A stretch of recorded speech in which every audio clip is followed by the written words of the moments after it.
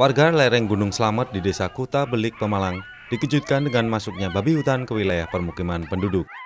Binatang liar berukuran cukup besar ini diduga kelaparan sehingga nekat menerobos rumah warga untuk mencari makan. Saat berada di permukiman warga, babi hutan ini mengamuk dan menyerang hingga menyebabkan tiga orang warga mengalami luka. Salah satu korbannya adalah Nyonya Wartina yang kebetulan tengah berada di dapur untuk memasak makanan. Binatang liar ini kemudian menyerang Wartina hingga menyebabkan korban mengalami luka sobek hingga terpaksa mendapat 30 jahitan. Lubangnya dalam apa gimana? Dalamnya Dalam satu yang sama. Dalam. satu lubang. Hmm, dijahit berapa jahitan bu? 30. 30 jahitan. Oh berarti lebar juga ya.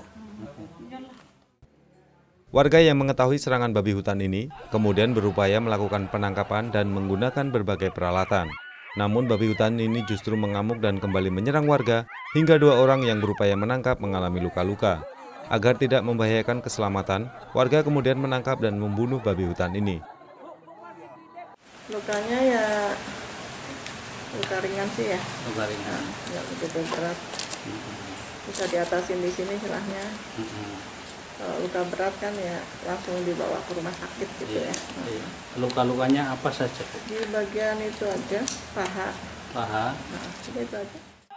Sementara itu, serangan hewan liar ke permukiman warga ini sering terjadi, diduga karena persediaan bahan makanan di hutan mulai menipis. Warga yang berada di perbatasan dengan hutan diimbau hati-hati saat hendak menggarap lahan karena rawan terjadi serangan binatang liar.